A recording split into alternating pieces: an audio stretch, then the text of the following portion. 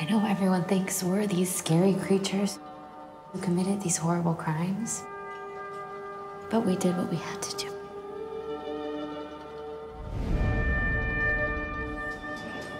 I need your help with the Manson girls over in the Special Security Unit.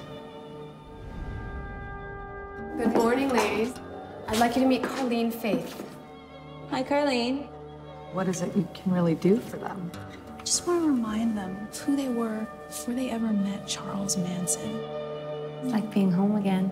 The family before the crimes, when everything was about love. What do we have here? I'm Leslie. I think we should let her stay. You're gonna be Lulu. We don't talk about our pasts. Our lives started when we met Charlie. We're all about love here. We got no secrets. We got no shame. Sometimes there has to be some death of self, changes, tears. Or are you willing to die for me? I want to go on an adventure.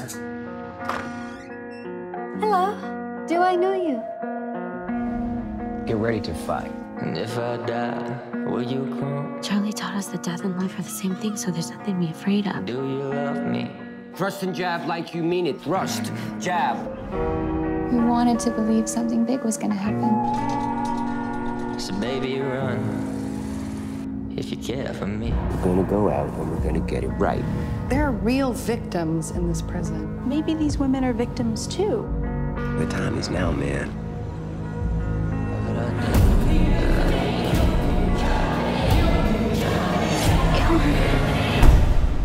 Did what we had to do. Right? So baby, run. And take care for me.